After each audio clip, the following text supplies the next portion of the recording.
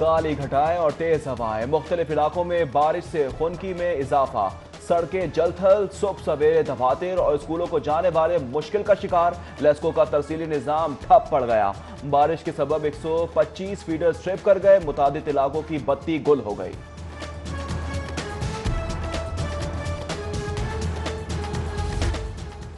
Judicial complex میں اہم مقدمات کی سماعت ڈرگ کورٹ میں منشیات کیس کی سنوائی پر رانا ثناء اللہ سخت سیکیورٹی میں پیش۔ احتساب عدالت میں پیپکو غیر قانونی بھرتی ریفرنس میں سابق وزیر اعظم راجہ پرویز اشرف اور منپسند ٹھیکے دینے کے کیس میں سپتین خان بھی پیش ہوں گے۔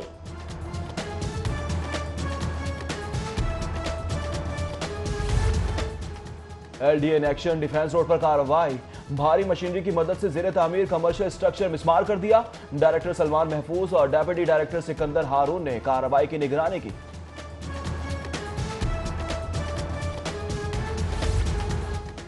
اور پیف کی ڈیمانڈ پر اسکالرشپ گرانٹ کے اجرا کی منظوری۔ پنجاب ایجوکیشن انڈورمنٹ فنڈ کو تیس کروڑ روپے کے اجرا کے لیے محکمہ خزانہ کو مراسلہ ارسال۔